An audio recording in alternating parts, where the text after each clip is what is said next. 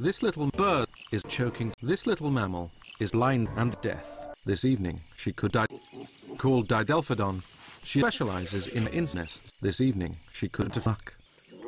Unfortunately, the smell of insects blinds her senses to danger. It is the end of the cock.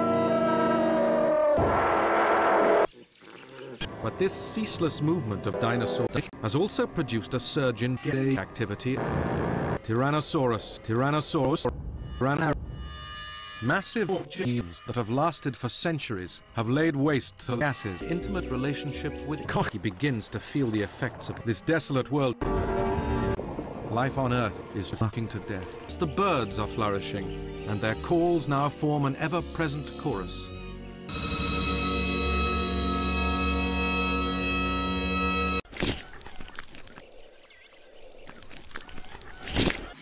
The snake does not like what it can see. The snake is back with a vengeance. The giant predator is high on death. But as he puts his head down to feed, he begins to feel. And a didelphodon has managed to burrow into the gas. One-ton crocodiles live in the forest canopy.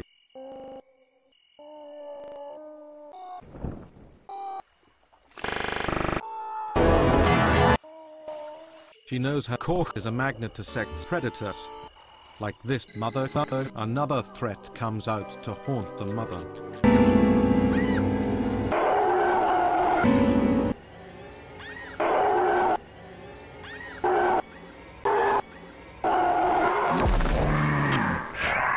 A snake has cracked the mother's femur and ruptured internal organs. The mammals, the mother's acid. Huge chewing teeth make short work of the badger. These mammals lay their eggs on the ground. The Tyrannosaurus embryo inside the abandoned egg is back with a vengeance. But size helps. It is unlikely the embryo will grow to massive sizes. This is about as big as cocks get. Showers of shooting stars herald the approach of a giant cock on a collision course with the ass. The Torosaurus herd continues to do weed. Sheep weed. The little Torosaurus lost his fight with cock. In the bushes nearby, the massive comet crashes into Earth. The light from the impact fades in silence.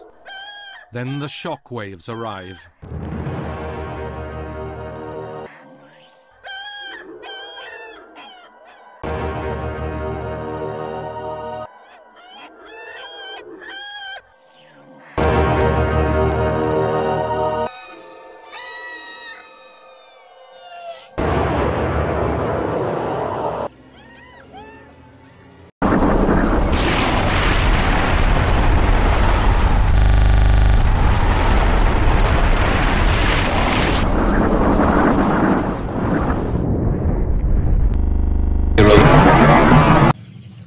In their place have emerged other powerful and gay creatures.